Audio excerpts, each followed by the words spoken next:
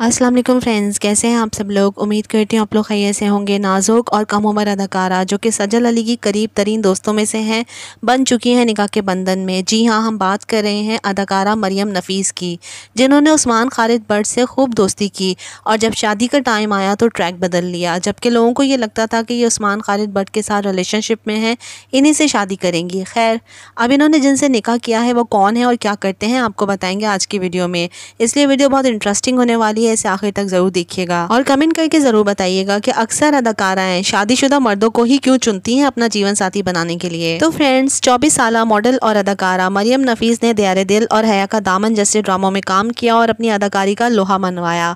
अब इन्होंने शादी कर ली है और वो भी बुशरा अंसारी के एक्स दामाद से, जिनका नाम अमान अहमद है। अमान अहमद एक फोटोग्राफर है और वो बुशरा अंसारी की बेटी मीरा अंसारी के शोहर रह चुके हैं और मीरा अंसारी को दो बच्चों का तोहफा देकर तलाक भी दे चुके हैं। मीरा अंसारी तो दूसरी शादी रचा ही चुकी हैं, मगर अब अमान अहमद ने दूसरी शादी रचा ली है मरियम नफीस के साथ। दोनों निकाह के मौके पर काफ़ी खुश नज़र आए, जबकि अब तक शेयर किया जाने वाली तस्वीरों में कोई भी फ्रेंड और फैमिली ना दिखा। ये दोनों ही तने तना एक दूसरे के साथ हँसते मुस्कुराते दिखाई दिए। ये दोनों की लव मैरिज है और दोनों की खुशी छुपाई नहीं छुप रही थी।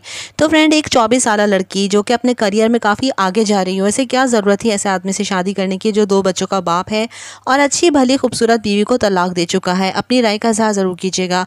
नई वीडियो के साथ जल्दी हाजिर होंगी। तब तक के लिए अल्लाह हाफिज़। मेरे चैनल पर आने का बहुत बहुत शुक्रिया।